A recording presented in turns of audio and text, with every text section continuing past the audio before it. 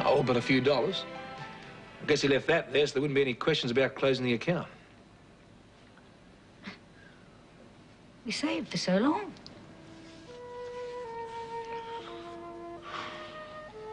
Won't be able to have the wedding down here now. If the Hamiltons are paying, they'll want it up there for sure. Angela and Rob will be disappointed. Angela said she wanted the sort of wedding we could give her. Not all the fuss and nonsense her mother would want. And she's going to have the wedding she wants. I'm damned if they're going to have it up there. But how? Oh, I don't know how. Look, I work my guts out. I'll, I'll mortgage the place. I don't know. But we're going to do it.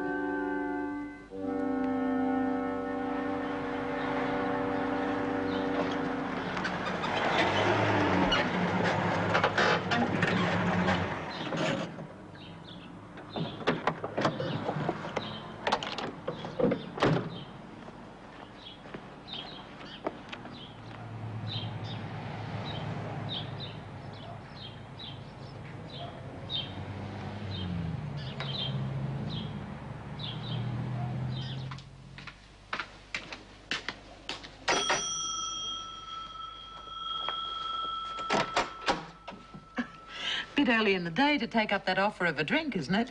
Business visit. Sounds ominous. Not really. How's about letting me sell you a car? Oh, you don't beat around the bush, do you? Don't. Well, no point, really. You have to be in the market with all the money you came into, and I can offer you the best deal in town. So I think we could do each other some good. Only one problem. Bought one already. Mm-mm. I've never owned a car in my life. Too many taxi drivers depend on me. Never heard a bloke trying. If you can put any business my way, Mm-hmm. I'll see what I can do. good on you. I want to buy Angie the best engagement ring in town, so I need all the cash I can lay my hands on. And directions to a good jeweler. Well, Wayne told me the address of his mother's. They should be okay. Oh, I hope he told you to take your wallet with you, too. Now you know why I'm hustling so hard. In case you change your mind, Oh, you're a persistent little devil, aren't you? I won't keep you. I've got to get back to work. I don't suppose I could interest you in a coffee? Some other time, eh? I, I imagine Patricia is planning a fancy wedding. She doesn't know we're engaged yet. We're saving it as a nice surprise for when she comes back from holidays. Oh, I can't see she'll be too pleased. Too bad. Uh, What sort of a wedding are you planning? El Cheapo's special. Well, it has to be. The Hamiltons are stony. So we're having it in Melbourne. David's paying. Uh, what about the money Patricia inherited? From what I've heard, it doesn't amount to much. David will be okay. Angie doesn't want a big do. I'll take you up on that offer of a drink sometime. Don't feel obliged. I'd understand the way the Hamiltons are towards me. I wouldn't know about any of that. I'll be in touch. Remember, if you need a car, I'm your man.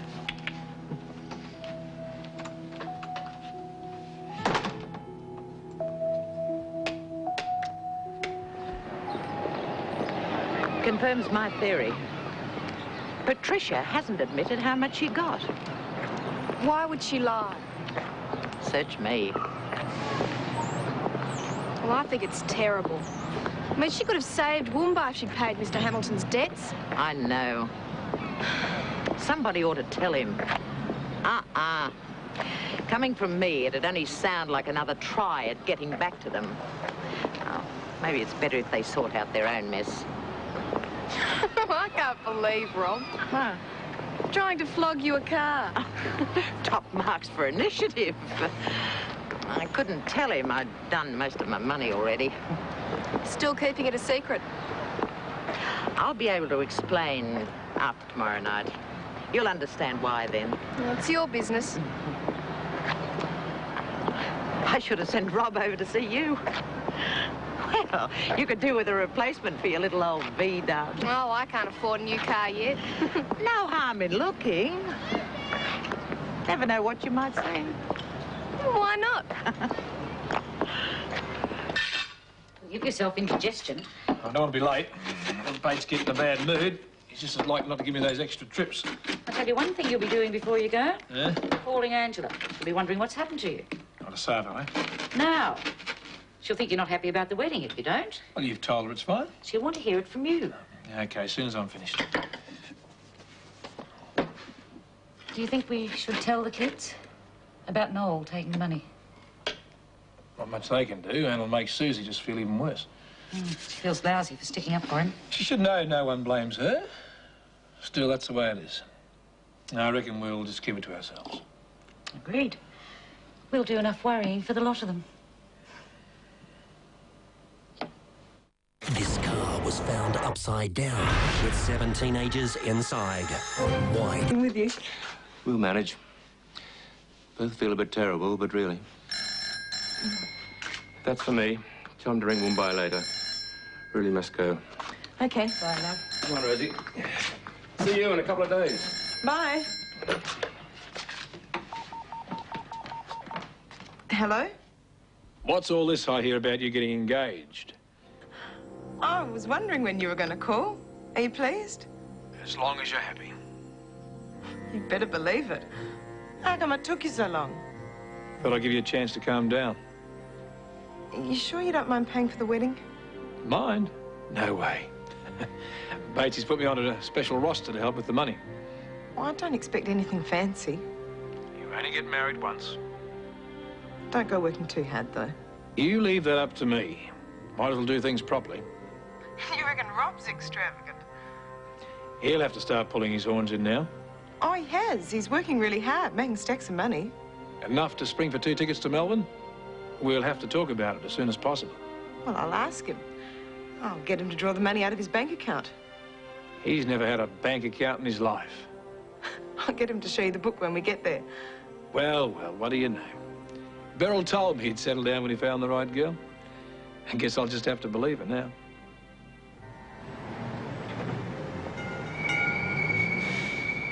I don't know why you're being so stubborn. I'm sick of worrying about money, that's why. I'll get another job. I can't live on air till you do. We'll manage.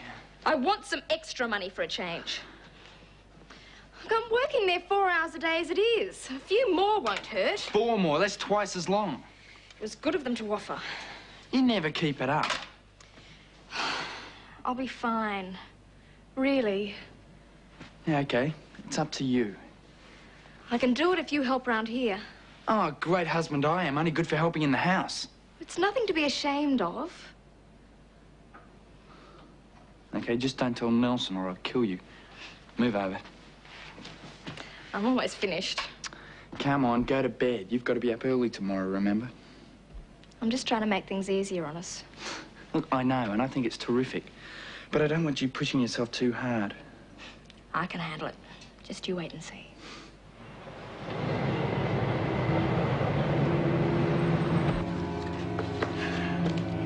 Something else, Mrs. Burns? I'm just tossing up whether to have a jam roll or one of your fruit cakes. Which is the freshest? They're all freshly made this morning. Hmm. Give me a jam roll, then. I am in rather a hurry, dear.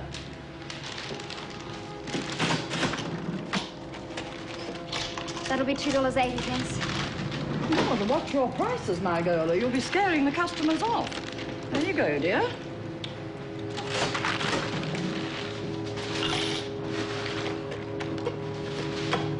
Next?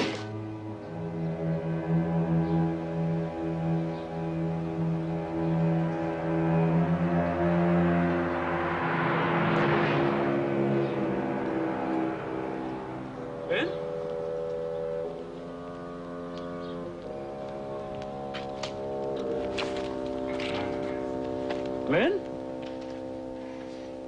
Glenn? You tired out. Sit down. Oh, don't you start. Kevin's convinced I'm going to fall in a heap any minute. Oh, you've done a great job. Had plenty of time. Had the house to myself. It's me, Beryl. Oh, I'm not in the mood for Dad today. Come on in, Victor. Just say hello and nip off. I'm sorry to barge in. Well, I saw you walking past just now. She could hardly put one foot in front of the other. You're not taking proper care of yourself, are you? Yes, I am, Dad. Are you seeing the doctor regularly? Yes. She's tired, Victor. There's nothing to worry about. That's a matter of opinion. I think it's about time you gave up your job. We need the money. Well, you ought to be able to manage on what Kevin earns. Well, we can't, so let's just drop it, okay? All you have to do is make out a budget and stick to it. You'll manage. Look, I'll help you. Beryl, have you got a pen and a piece of paper? Now, how much does Kevin earn? I think you'd better tell him, love. Kevin's been put off. So I'm working full-time until we can get on our feet again. I might have known. I could tell there was something wrong. Oh, calm down, Victor. She's perfectly all right. She's on her last legs. That son of yours ought to be shot for sending her out to work while he loafs. He's got school, Dad. And he's trying to find another job. I'll bet. Come on, I'll give you a lift home. Do not adjust your television set. Have we got... I teed it up on the way over. The owner's a friend of mine. You can start straight away. Great, eh? Should just about make enough for tram fares. Well, it mightn't pay much, but it's a start. I think he should wait until he can find something with decent money, Dad. Right. So much for all your promises to support Lynn. What do you think I've been doing? I'm talking about now. It's none of your business. She's my daughter. She's my wife. Would you butt out. stop arguing? There's nothing to worry about, Dad. I'm fine. I don't see how you can be going out to work all day, then coming home to cook and clean and... Kevin does all the cooking and the cleaning. I'll bet he does. He does. Not that it's any of your business. I doubt you could even boil water. Smell that. That's a stew I'm cooking for tea tonight. Lynn needs good, wholesome food, not the sort of stuff you're likely to throw together. He's doing a good job. Oh, I'm sure. He is. Why don't you ring Mum? Ask her to come over for dinner tonight. He can show you what a good job he really is doing. Right. Right. The day you can cook a decent stew, I'll eat my hat. You and Lynn make a good pair. You'll both end up working yourselves into the ground. Got tons of time between shifts. Rubbish. You'll end up falling asleep at the wheel if you try and stick to this roster for too long. Oh, come on, Bill. You know I'm right. I remember when Bob Adams had that accident because he was trying to push himself too hard. I'll be careful. That's all very well. What happens when you're held up on the road and you cut down on your brakes to keep up with the schedule? I've never bent the rules, and we're not going to start now. Look, all I want to do is make a quid to give Angela a decent wedding. You don't have to kill yourself to do it. She doesn't want a big wedding. I'll give her the best I can manage. Now, I can I have my dinner? I've got to be at the depot in an hour. You are as stubborn as a mule, David Palmer.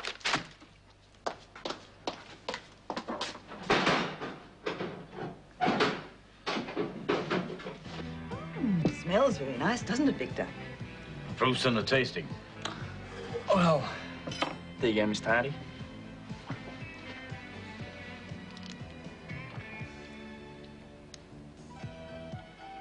It's a bit watery. Oh, I'd like to see you make such a good effort on your first try.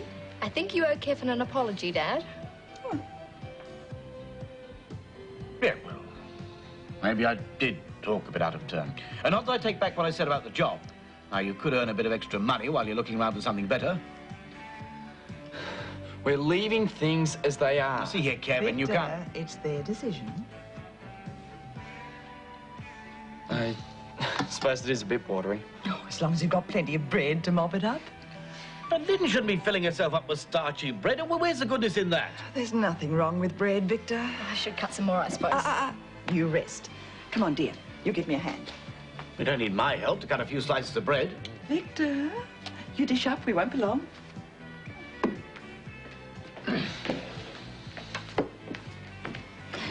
I think Mum's going to let him have it for being picky. He's a pain in the neck. At least he cares about you. Don't you start siding with him. It's right about the extra money. It would help. Yeah, but you'd have to get up at five o'clock every morning. I can hack it. You'd never keep it up. It's too long a day. I've heard that somewhere before. I bet you'd peg out before I would. You want a bet? now, here we go. this should do us. Um, didn't you have something to do, dear? Yes, um... uh, Do you mind if I use your phone? I'll uh, have to call Alf and tell him you won't be doing the paper round. Actually, uh, we talked it over and decided what you said makes sense. I'll do the job until I can find something better. See, Muriel? He always has to have the last word. But don't you let him bully you into doing that paper round if you don't want to. Look, I want to get into journalism. At least it's a start. You're a marvel, Rob. How did you sort it all out so quickly? Trade secret. I've parked the little bus outside. I've had the workshop give it a thorough going over. If you have any troubles, I don't want to know. I'll put her through her paces tomorrow. I can run you down to Woombai now. Going down to sort things out with Mr. Hamilton. I'm... I'm going to try. Good on you. Might uh, help smooth things over with Angie if you patched it up with him. Easier said than done. As long as you're trying. Uh, how are things with the engagement ring? Had a great day today. Can pick it up tomorrow. Oh, and you'll be wrapped. Yeah. I've been making excuses for the last couple of days why we can't go looking for one. Didn't want to spoil the surprise. I'm sure she'll love it. Yeah, she better with what it's costing. Anyway, I'll catch you later. okay, bye. Bye. And thanks again. My pleasure. See ya. He's a hustler, but you can't help liking Oh, him. no. Oh, sorry I put my foot in it about Woombai. Oh, it was partly the truth. I am going down to apologise to Gordon. And drop your bombshell. I almost fell through the floor when you told me. Yeah, I know. I just hope Gordon will swallow his pride and make the best of it. I'm dreading it. Jamie Durie has blown Australia away. But are the judges being... His first? Oh, don't be stupid. Come on. Okay, Duke, can I pick him or can I pick him? Must have cost a fortune. Plenty more where that came from. Well, put it on. Go on. Why'd you buy something like that? Don't you like it? Of course I do, but... but what did it cost? Two thousand bucks. Oh, what a waste. Well, throwing that much money away when we need it for other things. I wanted you to have a nice one. I don't give a damn about jewellery. Well, it's a bit late telling me now. Anyway, you should have let me pick it. I wanted it to be a surprise. Yeah, some surprise. Yeah, well, it's done now, eh? So just shut up about it and put it on. No, I don't want it. Oh, come on, Angie, I can't take it back. Yes, you can. It's your engagement ring. Huh? Do what you like with it. Chuck it out for all I care.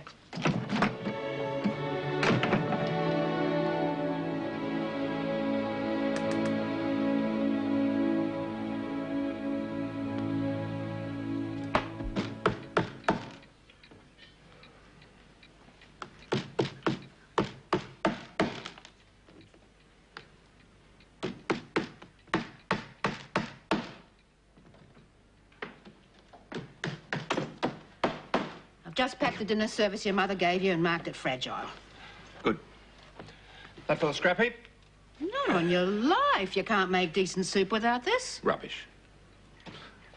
All right. Give it here. Looks bare, doesn't it? Yep. You shouldn't have come. I could have managed. It's my place to be here to hand over. Still can't believe it, you know. To make the best of it, Rosie. Oh, I'll, uh, I'll put this on the hall stand. Don't want to forget it when we leave. You don't have to worry. There's some things I can't bear to leave either. Two of a kind, aren't we? Yeah.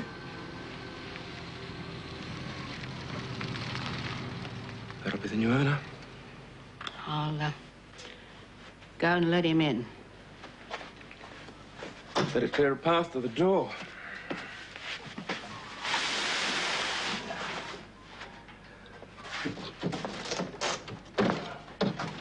You'll never guess who's just turned up.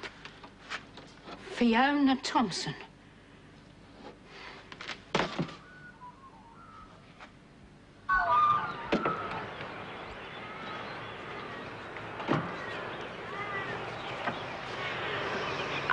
Better go in by myself. It's not going to be very pleasant. Oh, no. Oh, you're a great help. Oh, good luck. No worries. I've been thrown out of better places than this before.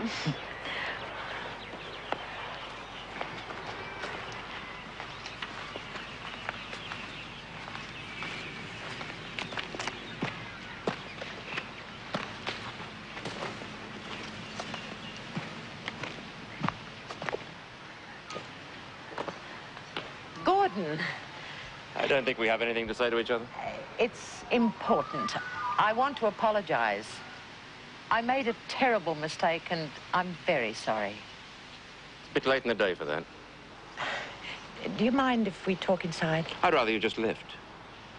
It's more than an apology, Gordon. We have a lot to discuss. I can't imagine what. I bought Woombai. I'm the new owner.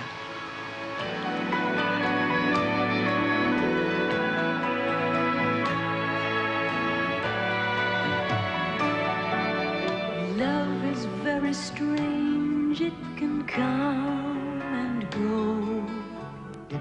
It's addictive. There are no limits and it's as easy as putting things on a list. The more you can list, the more you can win.